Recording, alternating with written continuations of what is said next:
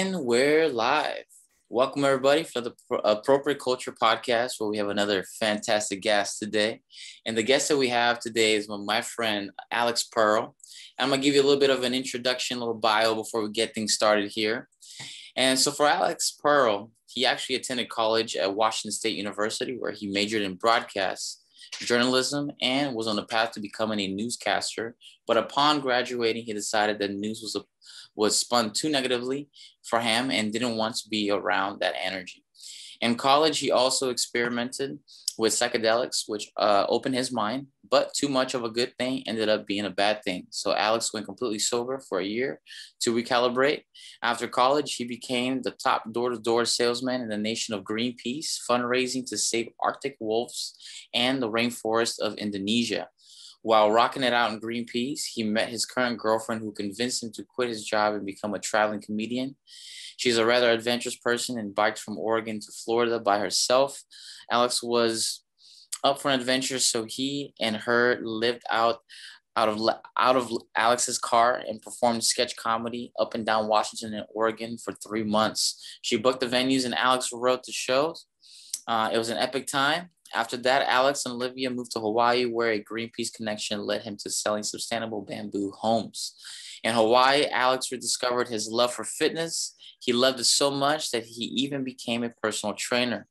Alex lived lived in Hawaii and met some amazing people, but had some had to move back had to move back because he missed his family so much. He didn't know how much family meant until he moved away. Alex Pearl now is now a personal trainer and trains in Eugene, Oregon. He is passionate about fitness, adventure, and locally sourced food. Alex, how are you doing, my friend? Wow, thank you, Lucas. Thank you. Sorry I didn't edit that down for you.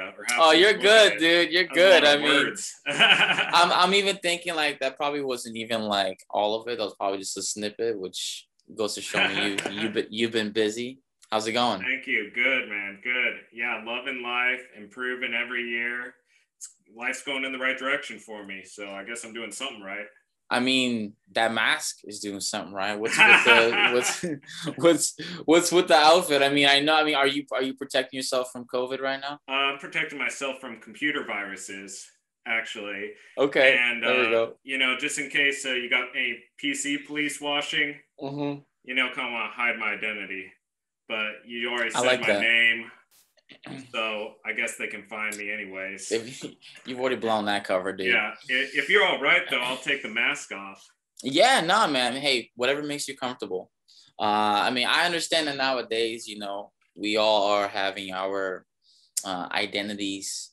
Uh, some people tend to switch them up and down and showcase different aspects online and different aspects in real life. But I think yeah. people like to see your face. You have a good face. Oh, thank you. I like I like your face. That. You know, you're, look, you're a good looking dude. So we might as you. well let let the people see who we're talking to.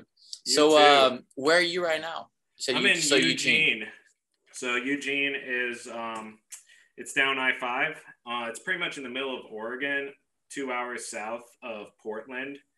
Um, and I, I've been just loving it here. There's so many swimming holes, so um, I've been swimming a ton, and uh, that's the thing I missed the most about living in Hawaii was I was snorkeling every day. Nice. And so I recently learned that uh, crawfishing or swimming underwater and catching crawdads or crawfish yeah. is a lot like snorkeling.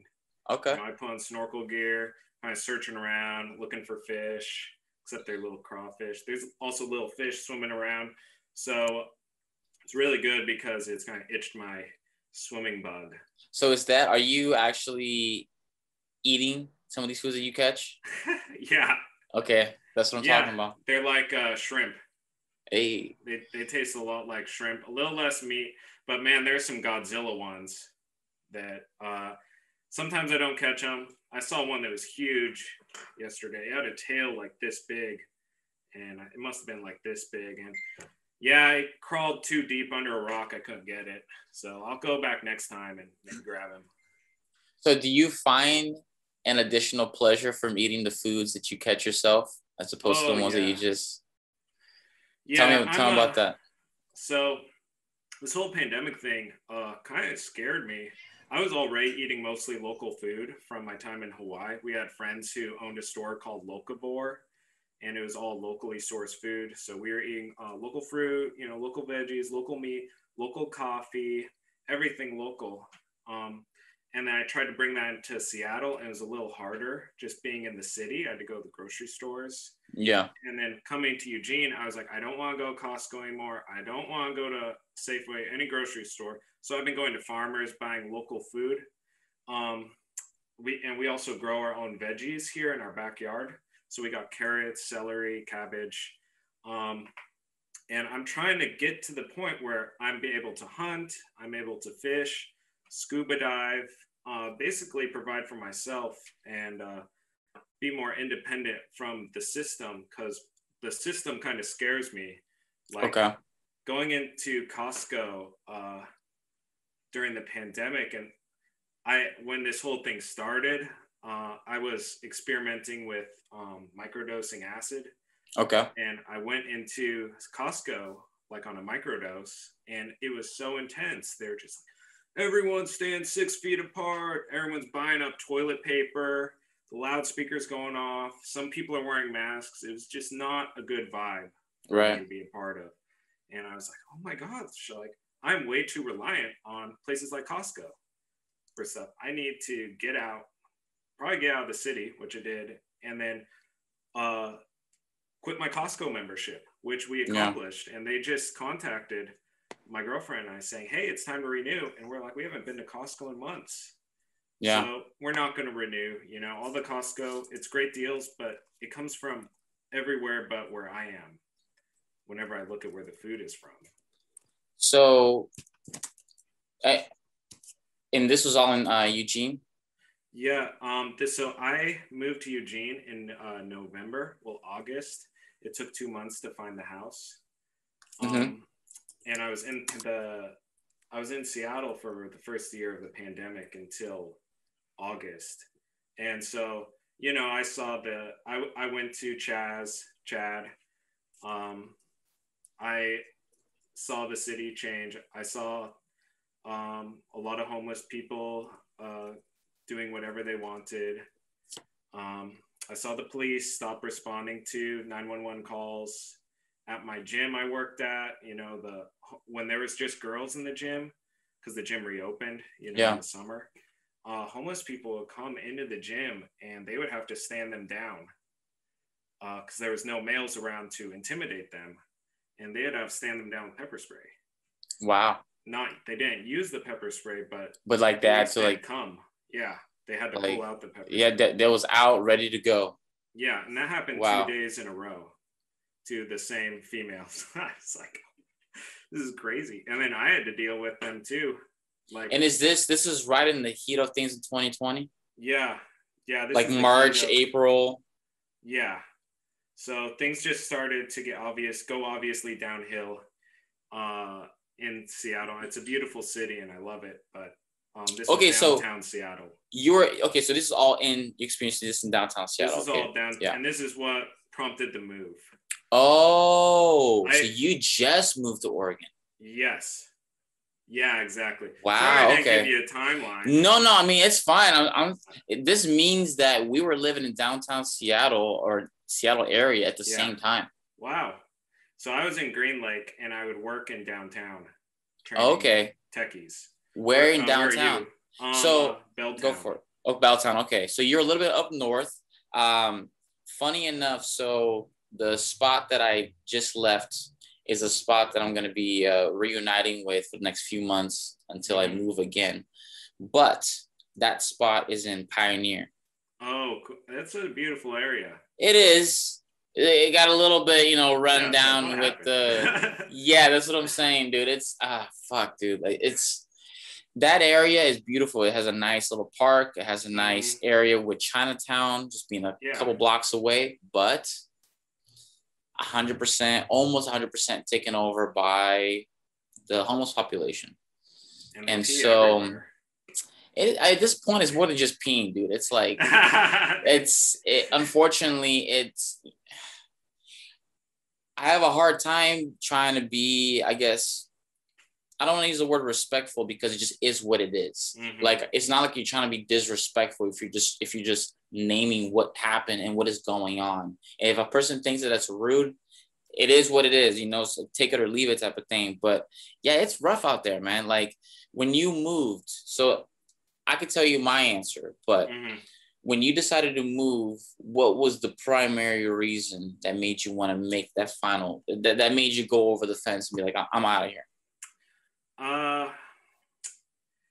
you, you know, it was just uh, kind of felt a little um trapped and a, uh, a little too reliant on the uh, city. Um, and you know, like so, what if the grocery stores stop serving food? Right. Like, what if? Oh, like I'm screwed.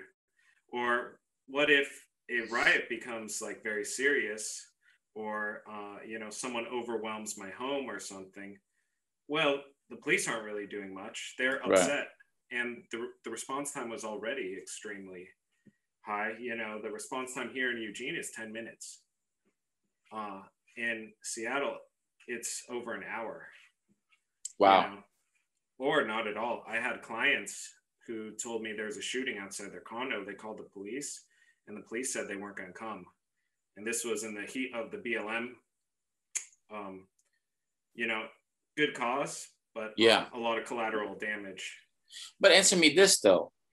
It seems like Oregon, in many ways, is in it just as deep, if not deeper, than Washington. Yeah. So yeah, definitely Portland. Portland, um, yeah. But Eugene, we still have a homeless issue. We have huge homeless camps, but these homeless people seem more uh, down on their luck than the ones I met in um, Seattle. The sure. ones in Seattle just a, a lot of the ones I would meet seemed so out of it, so far gone. Oh yeah, like they were in a different world. Zombies. Yeah, exactly. Zombies. Yeah. The ones in Oregon that I have met and I've talked to, and they're friendly. You know, they're like the traditional homeless person that you know maybe you remember from the '90s or 2000s. Sure. Like, oh, I don't know, this guy lost his job and uh, or he got into wife left or him or yeah, yeah, something like that. And just uh, down on his luck. So that's much different. We still get the occasional, you know, drugged out homeless person, but um, where where I live, it's very nice neighborhood. It's more on the outskirts of Eugene. If I lived in downtown Eugene, um, I would have a higher crime rate to deal with, more break-ins, okay, things like that. But I live um, pretty close to nature. There's like the country is right next door. Um, there's nature hikes that are five minutes away. So it's pretty much the Highlands is here where all the rich people live. Right. I'm right there, right next to them. Okay. So yeah, I just kind of move my way. You know what I'm saying? yeah. So so okay, so when we so a little bit of background for the for the viewers, uh, we went to high school together. Yep. Um, and you're one year older than me. Yep. As far as I know and so we had a lot of the same like overlapping friends i think mm-hmm. that's kind of how we met each other yep um and then so from talking to you a little bit it seems like you ended up going towards journalism after high school and so what i want to like i want to ask sort of like a like a like a two part question mm-hmm. but going off of what we were already talking about from the last year in 2020 in regards to the autonomous zone the blm stuff you know, whatever else, whatever else was going on with that. Did you personally see any inadequacies with how the reporting was being done on the TV, as far as what was sh- what was showing up, and as yeah, opposed to what you were seeing? And then two, did you experience that sort of priming when you were going to school for sort of? Did you feel like you were going to walk into the same situation that you just saw here in 2020 that you're going to be like more or less just another piece in this puzzle like yeah break that down real quick well um so as a newscaster i was rewarded for uh, sensationalism or taking a story and making it bigger sure than what it was and also making it scary so what i saw with the um, blm was uh, one side fox news playing it up acting like the city of Seattle was on fire. Sure. And then the other side playing it down. Um, like it's not not too much is happening. Yeah, like it, not too much is happening. So you have uh, mainstream news is very biased perspectives, and um, at the end of the day, a news person's a storyteller, is what I learned. You're trying to tell uh, what story is going to best serve uh, the investors yeah. Uh, of uh, your news station. Right. So you know, there's um, various cultures of the news stations, and you kind of subconsciously know what the culture is and what stories to say. Um, and I I stopped watching news until that this last year because the news suddenly was in my backyard and suddenly affected me. Yeah. And I was like, oh man, they got me. They got me because the news is right there. So of course I went to see these things in person, you know, of curiosity. Right. And I I got a vibe for uh, what was going on. Well, I break that down. Um, what was, was the vibe? You know, it was it was weird because it was like a tense kind of um is partially like felt like a uh, cultural uh, music festival of um, you know talking about uh, oppression of black people in america um, and kind of a nice way to get together and talk about those things but then um, also uh, that area of Capitol Hill already has gang violence. There is already shootings that were happening there. Right. And there's already lots of drug deals going on. And, and I, my whole issue, my main issue with the movement was those problems are so blaringly obvious of black on black violence. And that is what was happening there. But we're focusing on police violence, which I think black on black violence, police violence is more of a symptom of, you know, a larger problem in um, the black uh, community, which, you know, I, I do believe uh, there are uh, elite people that also try to keep people down. And right. the black community has been targeted uh, for that.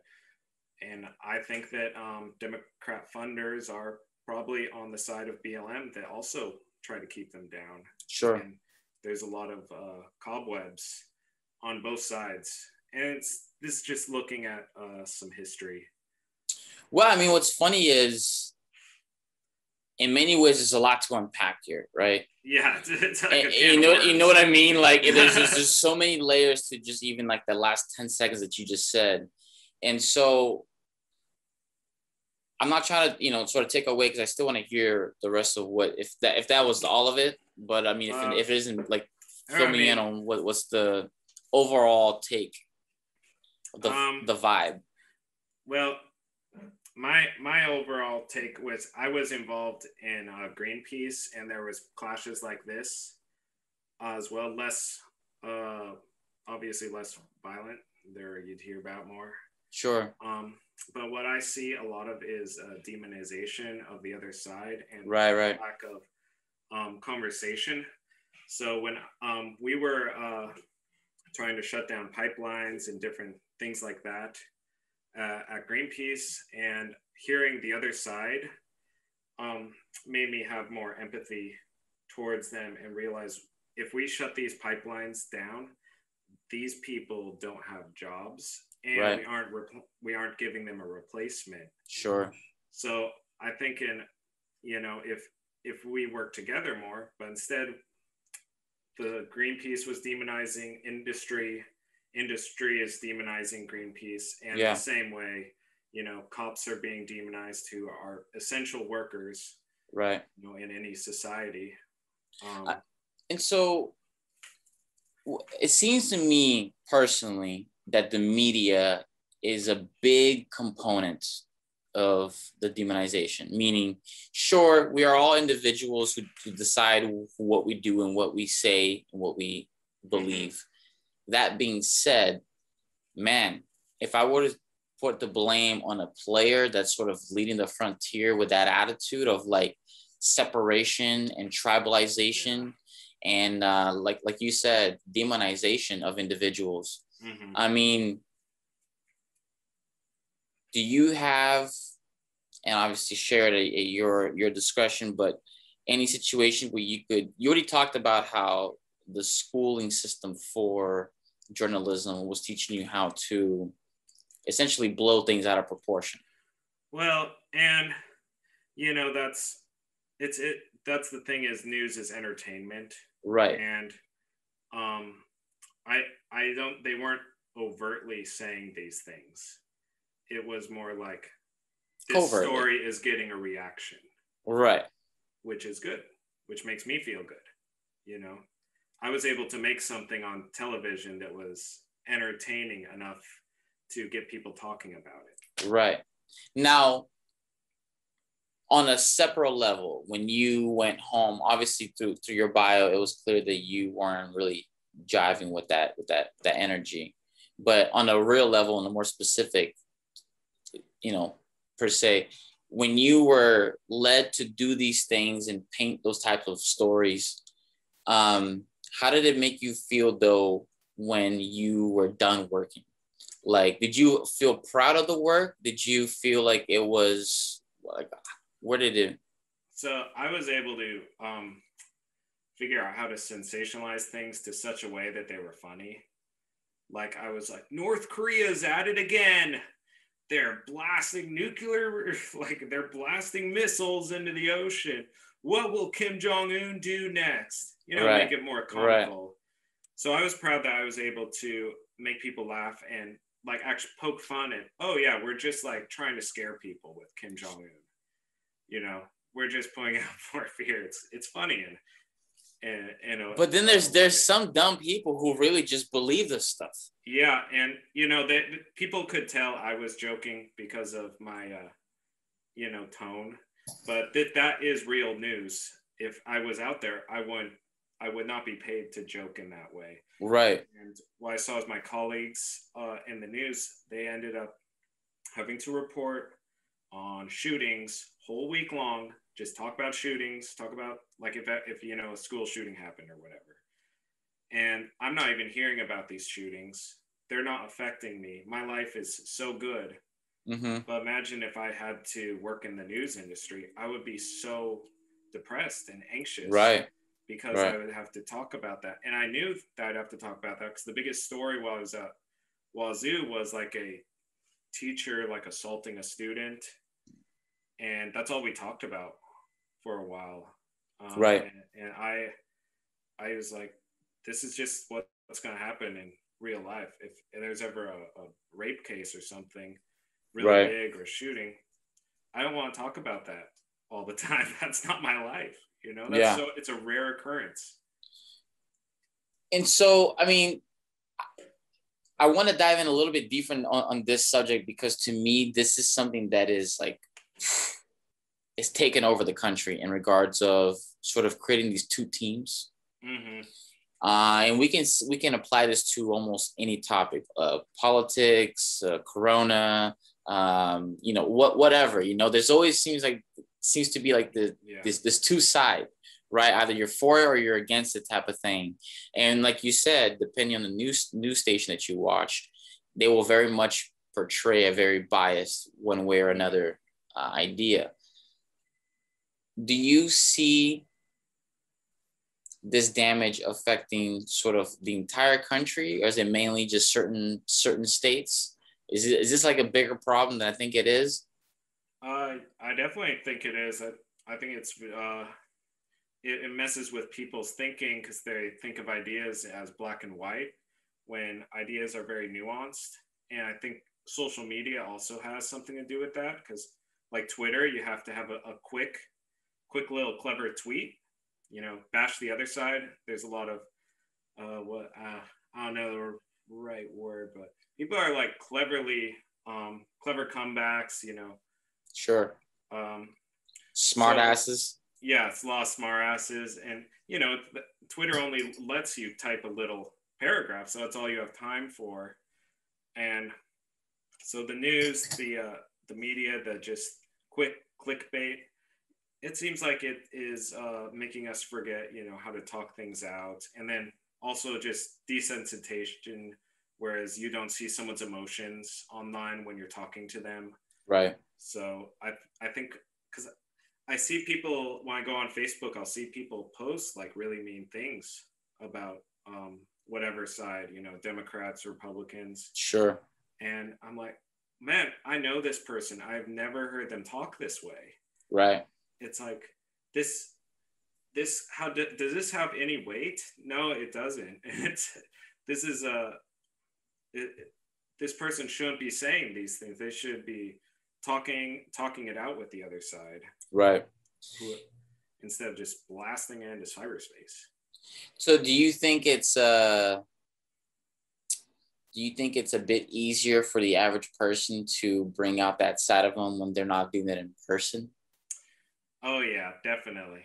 Cuz if you say some of those things in person, you know, you run you could run the risk of getting punched in the face. Yeah. Even. Um, but also, you know, most people are pretty kind that we grew up with and that we know. And you can see someone's facial expressions when you're hurting someone's feelings. Right. You know, and you might um, tone it down. Right. Right. Bit. Yeah. You know, it's something we learned in elementary school. Right. and I was just thinking, I there's an elementary school near my house. All the kids are wearing masks all day. Yeah. I don't know. I wonder what effect that has that they are wearing masks all day on. Dude, can like, you imagine? Can you imagine us going to school wearing masks oh, all day? I, I feel so glad I did.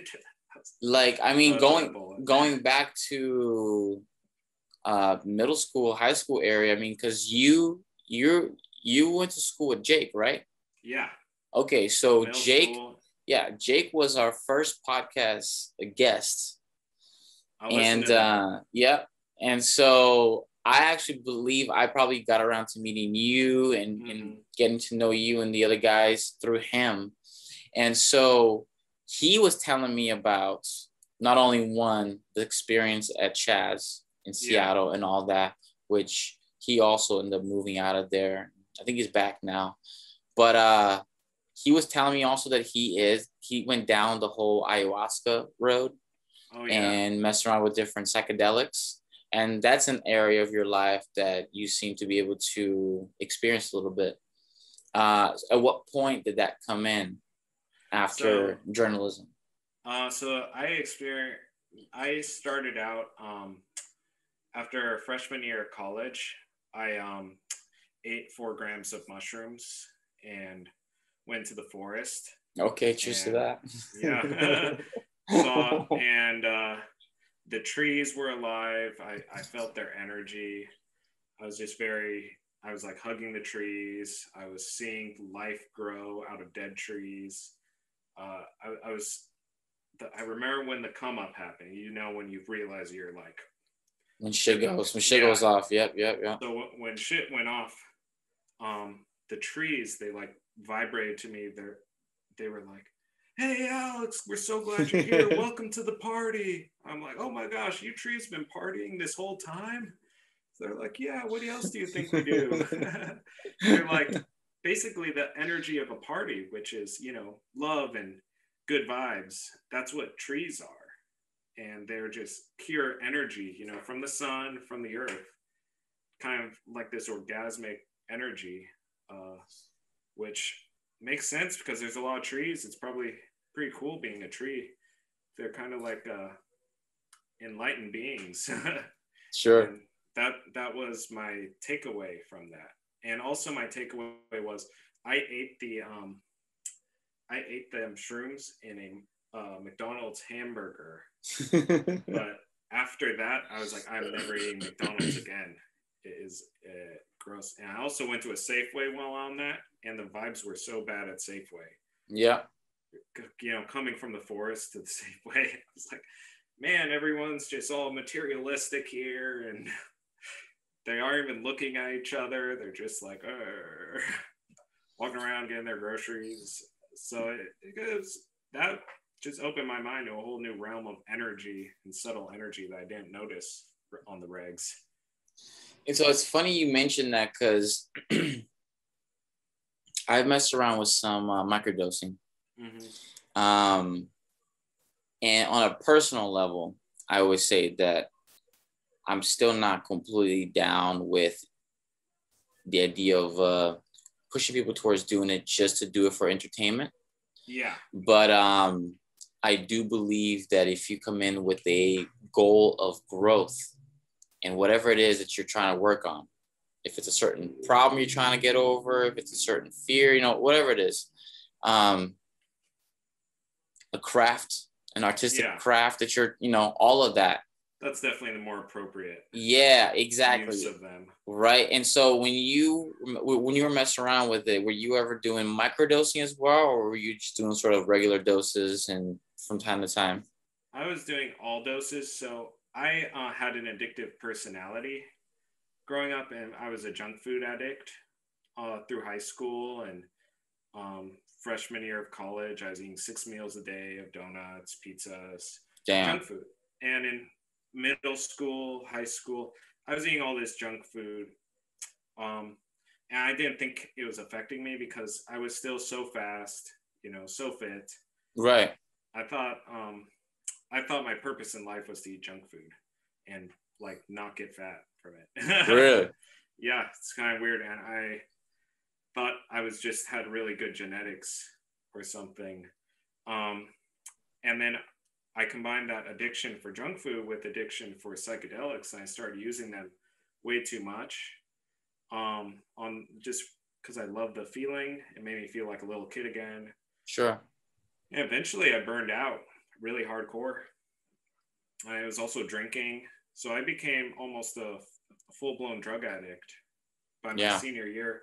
And my freshman year on television at college, uh, I was called the one take wonder because I never messed up my lines. Senior year, I could hardly talk. I could, I would mess up all the time. Talking just like we're doing was yeah. very hard for me. I fried my brain. Mm. Um, and so that's why after senior year college, I took a year to be completely sober. Uh, no substance, no alcohol, no marijuana, no psychedelics. Um, and that's when I started running. And I uh, ended up getting health issues from all the junk food I ate. I, I was right. covered in rashes. You know, you, I my whole face was um, red and peeling. Wow. So, so kind of a gift I had was I was a good looking guy. Well, suddenly I was no longer able mm. to use that. And Out was, the window, yeah. Yeah.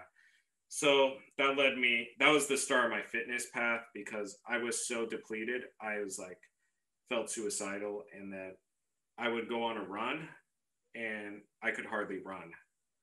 I, I had pretty much lost my all my identity because I was no longer athletic like I was in, you know, growing up. Right. I was no longer good looking to myself because I had uh, eczema all over my face. Right. And uh, yeah, I mean, imagine just losing every losing your ability to speak or be clever. Yeah. Um, yeah, you're right. Energy. That's like yeah. your whole self right there. Yeah. Yeah. So uh, from 25 on, it was really I was on a healing trajectory.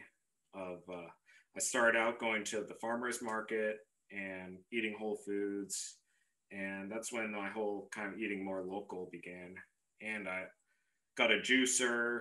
You know, was juicing veggies, fruits, and yeah. veggies, and uh, just uh, completely transformed myself uh, over the years, um, and became obsessed with health and fitness slowly but surely. So that was from 25 to you know 30. Okay. And it was so cool to get to 30 and be like, wow, I'm so much more energetic, so much smart, so much stronger, so much faster than I've ever been. Yeah. So I reversed aged by uh, changing my lifestyle completely. So let's let's dive into that because I personally have been on the same road uh, in regards to feeling better than when I did in my late teens and early twenties. In regards to now, mm-hmm. um, what would you say are some of the biggest contributing factors to you getting on this road that has uh, allowed you to essentially you know not necessarily maybe age backwards but at least slow it down by a lot. Yeah. Um you know it's all it's all really important. It all adds up. Uh, definitely cutting out the junk food It's the main thing. Um but the and then exercising quitting all the drugs. Um, you know, I when I was healing myself, I'd run every single morning, sweat. So that's movement, eating natural foods, um, sleeping enough, you know, just getting in touch with my body, reducing overall stress. Just it's just it all adds up. I can't say I I can't say one thing. If I were to choose one thing, I'd probably go with uh, sleep and stress reduction first. Um, okay. But food, I think, is probably more important because it was these bad foods that were uh, triggering my eczema. Okay. Pizza. Pizza was like the biggest trigger. Uh, and I can eat pizza. I can eat all these foods now. I had a leaky gut. Is what if you've ever heard of that? I have not. I mean, I, I'm sure if it is what it sounds like, or is it something more than what it is in regards to the actual just definition? I think it, I think it's what it is. Like food particles are supposed to not go through your gut and into okay. bloodstream, but my gut was so damaged from um, the six meals a day of junk food uh, that things were, uh, you know, I don't, I don't understand it totally. I don't even think my doctors understand it totally. I went to a normal doctor first. They gave me skin cream. Right. I went to that didn't work. That made it worse. I went to a naturopath. They gave me a bunch of supplements, and I didn't want to spend money on supplements all day, uh, like vitamins and stuff. Right. I went to another naturopath. She did the same thing. Finally, I just healed it by using uh, common sense and eating natural foods and just listening to my body. you know? So let's talk about that for a second because I did it. Uh, I did an episode with my father, who is getting his PhD in uh, nutrition, essentially, mm-hmm. and um, a big part of the whole podcast was talking about how there's all this fluff in the in the health industry mm-hmm. of all these things that you should and need to do in order to get this perfect result yeah. or whatever. Good marketing. So you I guess is a good leeway. You are working in the personal um, um, training, yeah. personal training area right now.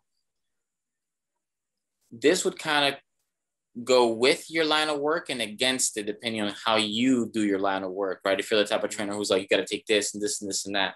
Yeah, I'm not what what what's your what's your approach with your with your clients? So, uh, I did get a fitness nutrition certification as well. So what I basically do is I monitor what they're already eating and then um, make suggestions on how they should how they could change and switch those out with healthy alternatives. So if, an example is if a client has a sweet tooth i recommend them to eat organic berries. Okay. Um, and berries should be organic because they have thin skins so they have a high um, pesticide, they get, get pesticide residue. Got it. Okay. So I teach them about the Dirty Dozen and the Clean 15. Uh, have you ever heard of that? No. Well, your viewers might have not either. Let's um, get into it. So basically, um, they update this every year. They take all the crops and they test for pesticide residues. How much of it is, how much pesticide still on the food when you're mm-hmm. going to eat it, right? So every year it changes and you can look it up but um, the clean 15 is the um, fruits and veggies that have the lowest amount of pesticides. Okay. Number one is avocado. Okay. Cut open avocado you know the skin's pretty thick. They don't need that much pesticide to grow it. The highest pesticide food would be strawberries. Okay. For some reason they have to spray it a lot. The pesticide stays on the skin. You're eating the skin. So right. if you don't want to look up the clean 15 or dirty dozen i recommend everyone do that. Um, you can just think if it's thin skin and you eat the skin then it it's probably high. has pesticides on it so Got it. apples ha- usually have a lot of pesticides pears yep yep pears um and i don't Grape, have the list grapes. memorized yeah grapes actually do which is unfortunate because a lot They're of times they, they come yeah it's kind of hard to find organic grapes and I'll still eat, you know, from the Dirty Dozen.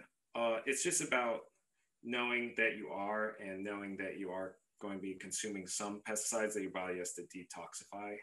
Okay. And trying not to do too many. Is banana on the top clean? You know, banana's a weird one because um, they are they are clean, but um, they're saying you don't want to buy organic. Last I checked, and uh, this is because bananas are affected by a fungus, a very spreadable fungus.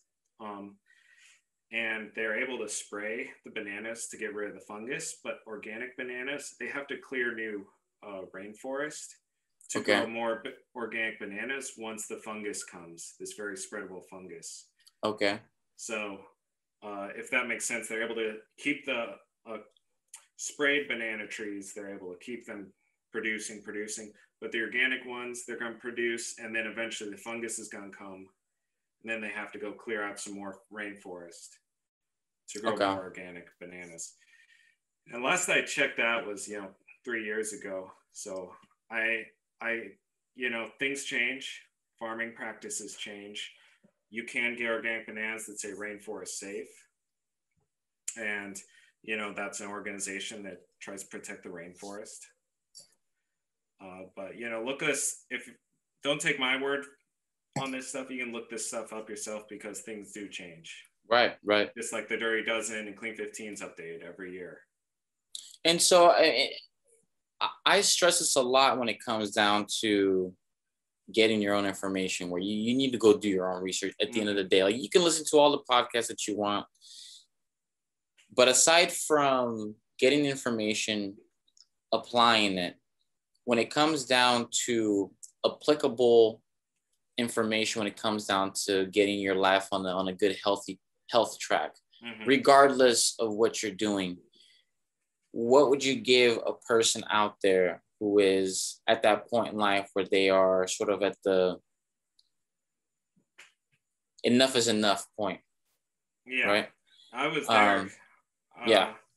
I'll say that you know the first two weeks were really hard and i felt worse.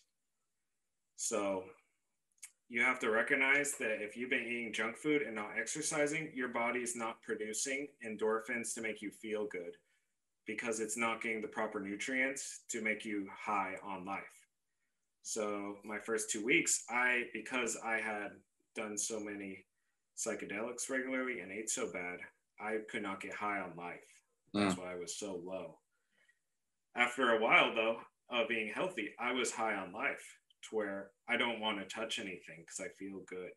Right. You know, I have energy. So my clients, I ask them to eat foods that make them feel good. And I'll give them guidelines on how to eat so they can lose weight and change their body. Um, and they can do whatever diet they want. And I'll tell them, you know, there's there's certain things for like weight loss you have to do. So weight loss, you either got to go high carb, low fat, high protein, or you got to go, let's see, high carb, yeah, or high fat, low carb, protein. For some reason, the it does the body doesn't work as well if you combine carbs and fats. Carbs and fats. Yeah. Okay. Um, and even for me, I try to uh, space out my carbs and proteins and, and fats into different meals how how different of meals are we talking here? Like every other meal, you see one or the other, or what's going on? Uh, you know, th- I usually eat three meals a day. But like, how do you space out those so those okay. factors within the meals? So I uh, I like to start out with more carbs and fruits, um, just because it makes me feel good. Uh, and it also hydrates me in the morning. It's very easy to digest these things. Okay middle of the day, I like to do more of a protein source because that's um, slower digestion. And also, I like to work out in the middle of the day. So, you know, I got to refeed my muscles. Um, end of the day, uh, I find that a lighter meal works best um, because you don't want food to interfere with your sleep. Right, right. Um, so, you know, that's when, you know, a fish salad would be a good idea. Fish has uh, taurine in it, which can help can help with sleep as well as other chemicals. But I also like to do fruit at nighttime. So start my day with fruit and my day with fruit. And that's for the liver glycogen. So before bed, if you eat fruit and you're, um, you know, you haven't ate anything heavy, um, the fruit will digest nicely and replace your liver glycogen. So if you sleep up, if you you'll sleep through the night, you're less likely to wake up kind of like uh, because you'll run out of glycogen. This is like kind of hard for me to explain. So you I'm not, I'm not you'll wake up you'll wake up like feeling more energized or more out of you, it. you might wake up in the middle of the night and kind of just stay awake. okay. Um, Because you already because you already got all your rest. Uh, no. Yeah, I, I I'm not as comfortable talking about that because I don't understand this. I'm not able to describe the science fully. But No problem. Pretty, pretty much, yeah. If you eat fruit at night, it can help you stay asleep and stay in a restful state the whole night Okay. instead of waking up at 3 a.m. kind of stressed. But Ah. but that's just try things out for yourself because everyone's gonna be a little different. Right, but for those people, because you know, for some of us who we grew up playing sports and doing this, and you know, being able to like cheat on our, our diets and still look fine and Yeah. feel feel pretty good at the end of the day. But I've come to find out that a lot of people are not able to get away with that. They're not able to do those things and not put on the pounds or you know what I'm saying? Like even people in our, our, our positions were able to have to like, you know, you weren't as good in sports or you weren't Mhm. acting as sharp during that one meeting or whatever. But for the people out there who are not able, they're not seeing themselves getting away with being able to have any of these circumstances, what what would you say should be their next step to getting on track? Meaning, should they get professional help? Should they uh, go into like a self-teaching mentality where they're doing that on like YouTube types? Like, what Mhm. what would you go about? Uh, Call know, you for being a trainer? you know, what is? They could. They could definitely do that. Um, I would start out uh, by going to the farmers market. That's where I start out. I start out running on my own, doing body weight workouts Yeah. and like push ups and pull ups and running and going to farmers markets and pretty much eating whatever my eyes and my stomach told me to eat. Hmm Al- Also, clearing out all the junk food from your house and treating it like a drug. Yeah. Like, you know, a drug addict probably should not have cocaine in their house. Right. You know, you should, probably shouldn't have those cookies in your house. You're gonna eat them, Yeah. and and then you go into a farmer's market. Well, now you're less tempted um, by the grocery store Yeah. because the grocery store, the whole middle section is just food that's made to taste good but not be good for you. And, And- then um, eventually your natural uh, instincts will kick in. And it'll so- easy. let's let's dive into that part for a second because I've tried to explain this to certain people, but I've had a hard time, which is the aspect of just feeling what you're supposed to eat at Mhm. that time. So a lot of the health channels that I follow all come at you with a lot of the different scientific purposes as to why you should eat these things and so forth. And this is good for you this is good for your skin this is good for this, this is, and it's all good information. But at the end of the day my primary source of decision making has come from really what my body feels like i should take in at that time. Yeah, your And- body's just much smarter. So dive into that do you do you feel like you could break it down as to does if there's any science behind that do you feel like there's some legitimacy to that you can actually like make some points about it Yeah, I well, first off, that is uh, the way I do it as well, because your gut is so smart and it knows what it wants to eat. Now, you may have a gut that is a little out of whack. That's why it's hard to change your diet at first, your nutrition at first, because your gut probably is filled with stuff that wants to eat junk food. But you know, once you're able to listen to your gut and trust your gut, and you've repopulated it with really healthy uh, bacteria, from you know going to the farmers market regularly or maybe doing a juice fast right something like this i did a juice fast and it was really helpful to reset my system um, you know a fast a fast can be a great way to um, get to know your body a little more. And also you know kill off some of those creature bacterias in there that are just you know they're kind of controlling you. They're telling you go buy this junk food. Right. you know, but once they're gone um, like you and me we eat pretty healthy so we are in touch with our body because the bacteria is good and it's telling us what to eat so i i trust my body uh 100% i trust it more than the internet or what someone says or a professional might say because it's right. Like today i felt oh i feel a little dehydrated. It's pretty hot today. Hmm well i have a watermelon that's really hydrating. Right. I'll go eat that watermelon. So i ate the watermelon felt really good. Or oh you know i don't feel really lively right now. I think i need to breathe more. I'll go on a jog and really get my heart rate going and you know breathe in more air and um, bounce around you know get Right. blood moving everywhere. Oh now i feel more lively. So these are Right. things that i'm just paying attention to in my body.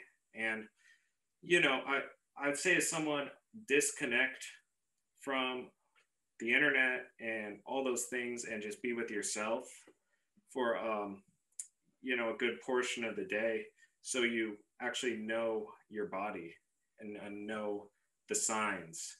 Because the body is saying things but if you're not listening or if you're you know a bad listener um, then you're going to miss those things. Right. And that's why i let my clients have a lot of control over their diet or nutrition um, because i don't want to act like i'm smarter than their body.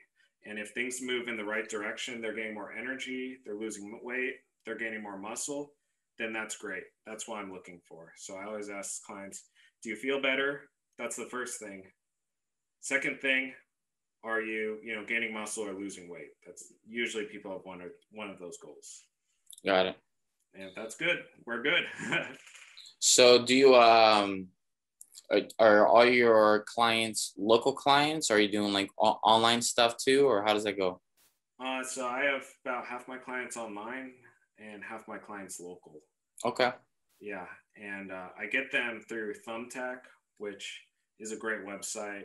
Um, someone googles online personal trainer or eugene personal trainer thumbtack will pop up and then they'll see my profile uh, depending on how much money i paid thumbtack. Got it. Okay. Yeah. And um, i monitor my clients nutrition through myfitnesspal and i check in with them five days a week. So even if i'm not seeing them i'm texting them and making sure that um, they're feeling good and also telling them if they've ate too much of a certain thing that is toxic um, or giving them a pat on the back if they ate really healthy and you know it looks good. And of course i make sure they're feeling good. Right. So it's, it's preventative medicine. So since we're coming up here on the on the top of the hour give me like a breakdown of how your um, training system is from like an onboarding like a like a new client and working with them depending on what their needs are.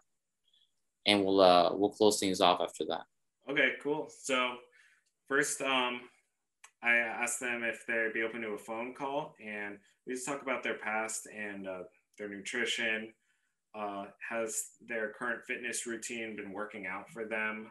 What's good? What would they like to change? And then from there we come up with a plan. I ask them what their budget is and uh, the plan is really catered towards their budget. So someone with a big budget they're going to have a lot more facetime with me. Uh, i'm going to be there to make sure they do their workouts. I'm going to um, be there with them every day. Someone with uh, less of a budget they're going to hear from me maybe once a week. You know they might hang out with me for an hour uh, once a month.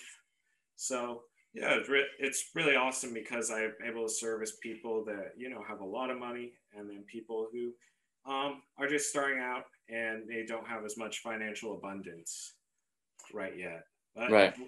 They get their energy up, they get their fitness up, you know, they make more money. I feel that, dude. I mean, one thing's for sure is that even if you don't, even if you in your head you think you have zero money for it, it comes out how bad do you want it, right? Mm-hmm. Uh, you're either gonna go and get the knowledge yourself by yourself, or you're gonna go and you're gonna make some money and hire somebody to walk you through it and make sure that they hold you accountable. Yeah. And so you sort of got to take a pick at that point. And I did have personal trainers at one point in my uh, fitness journey before I was a trainer. Yeah. And, and, this was in Hawaii. And they actually said to me after a year, they're like, you know, you're really good at this fitness thing. You should consider being a personal trainer. And I had not considered it. I was like, yeah, that would be an awesome job. And here I am. rewarding? Oh, yeah, so rewarding. I had a client who lost 50 pounds since January. Damn. Yeah, he wow. Feel, feels very good, energy much higher. Uh, now I have another client who's gained 30 pounds of muscle since January. Damn. So, yeah, pretty serious uh, results. And a bunch of people have got their first pull up this year with me. I had uh, several girls get their first pull up. okay. That's a big deal, you know. so do you got like uh you got any any challenges like that, that you put out like where I you know that's actually the next step for making more money in this okay. profession. Uh, I I do not have much of an online presence right now, so I'm trying to make sure that I don't get complacent.